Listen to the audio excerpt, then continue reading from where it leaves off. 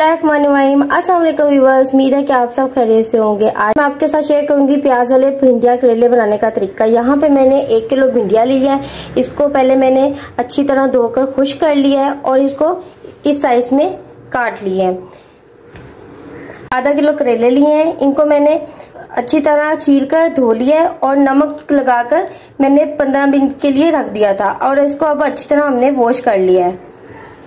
चार बड़े साइज़ में प्याज चाहिए होंगे। चलते हैं अपनी रेसिपी की तरफ़। उससे पहले अगर आप हमारे जीएम देसी चैनल पर न्यू है तो इसको सब्सक्राइब करें और बेल के बटन को प्रेस कर ले, ताकि मेरी आने वाली हर वीडियो आपको टाइम पर मिलती रहे।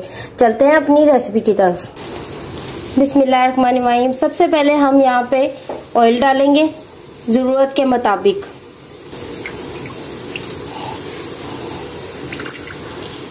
ऑयल मैंने यहाँ पे डाल दिया है, तकरीबन एक प्याली के करीब। अब हम इसको अच्छी तरह गर्म करेंगे।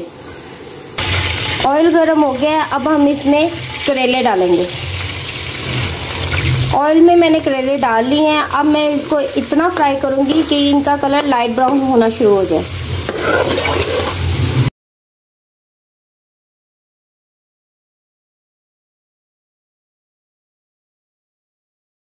यहाँ पर करेले लाइट ब्राउन हो गए हैं, अब हम इसको एक लैदा से प्लेट के अंदर निकाल लेंगे। यहाँ पर मैंने एक प्लेट में लग से करेलों को निकाल लिया है। अब इसी ऑयल के अंदर हम भिंडियों को डाल देंगे। भिंडियों को ऑयल में डालकर पाँच मिनट के लिए फ्राई करेंगे। मीडियम फ्लेम पर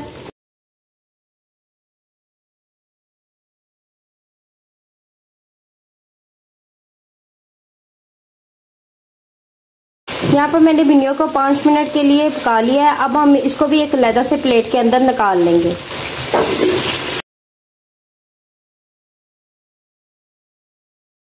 यहाँ पे भिंडी को मैंने एक लेदर से प्लेट के अंदर निकाल लिया है। अब ये जो बाकी का ऑयल है, अब हम इसमें डालेंगे प्याज। लंबाई में कटे हुए। इसको अच्छी तरह मिक्स करेंगे। तरह मिक्स करके मैं प्याजों को सिर्फ़ इतना पकाऊँगी, ये थोड़े से नरम हो जाए।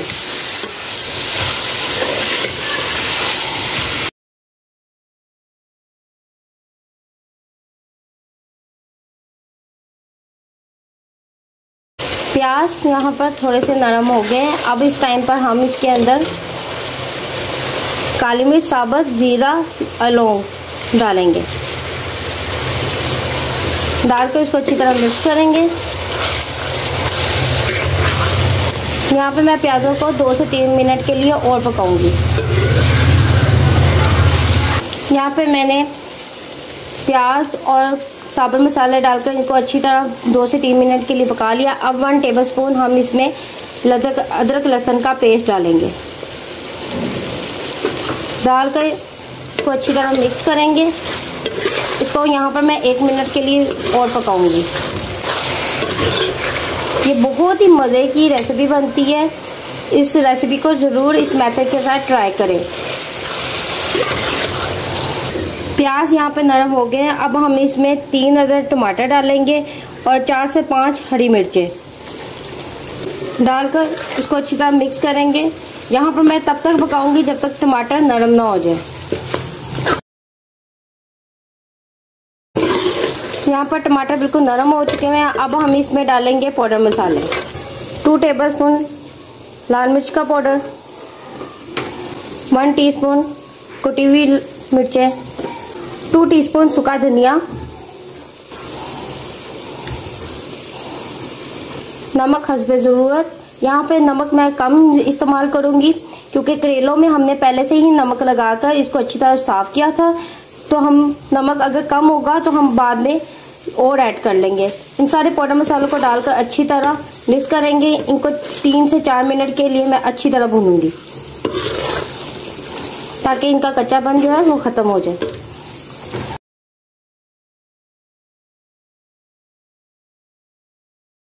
एक पाउडर मसाले में डाल के लिए अच्छी तरह भुना है। अब हम इस टाइम पर करेले भी साथ ही डाल देंगे। और इसको अच्छी तरह मिक्स करेंगे। और इसको दो मिनट के लिए अच्छी तरह पकाएँगे ताकि सारा मसाले का जो टेस्ट है वो करेलों के अंदर अच्छी तरह मिक्स हो जाए। अच्छी तरह पका लिया है। अब हम इसमें डालेंगे भिंडिया।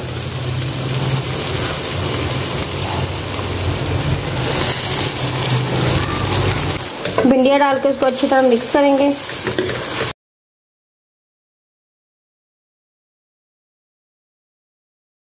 भिंडिया डालकर मैंने इसको अच्छी तरह मिक्स कर लिया है। हाफ़ टी स्पून के करीब हम इसमें गरम मसाला डालेंगे।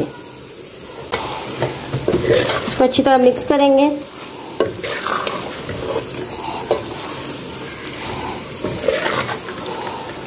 मिक्स करके इसको मैं बंद रखने में पाँच से सात मिनट के लिए बिल्कुल मीडियम फ्लेम पर पकाएँगे।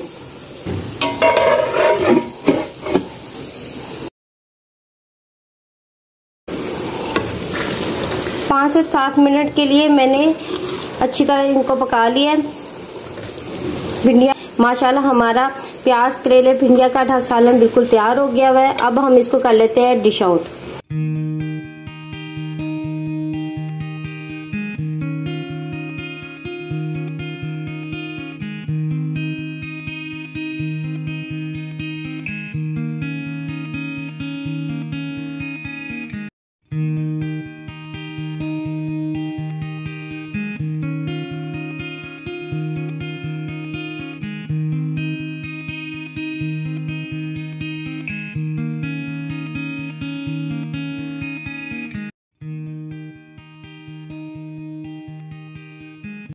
ये है हमारी आज की प्याज पिंडिया करेले की रेसिपी अगर आपको अच्छी लगी हो तो इसको लाइक और शेयर करें।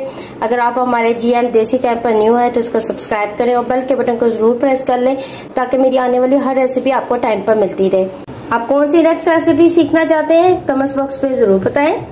मिलती हूँ मैं आपसे नेक्स्ट रेसिपी के साथ। अल्लाह हाफिज।